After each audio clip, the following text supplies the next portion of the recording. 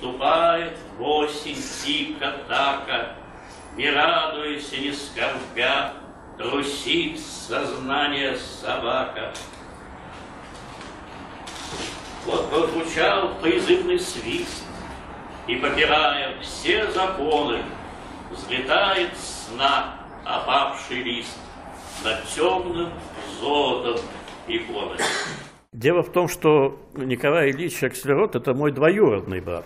Причем там родство сложное. Наши отцы – родные братья, а наши матери – троюродные сестры, так что с двух сторон. И вот мы были с ним с детства близки. Мы оказались в наших семьях такими выродками, которые пошли не по пути, предназначенному нормальному советскому человеку, а совсем по-другому.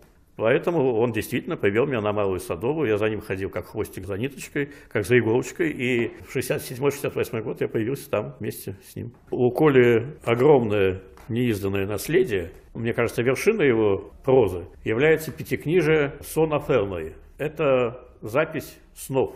Дело в том, что Николай Ильич был сновидцем. То есть для него реальность повседневная и реальность ночная были на равных. Он видел такие яркие сны и запоминал это так блестяще, и умел это еще передать очень хорошо. Это не так просто записать сон. И поэтому вот э, сон о конечно, мне кажется, обязательно должен быть издан.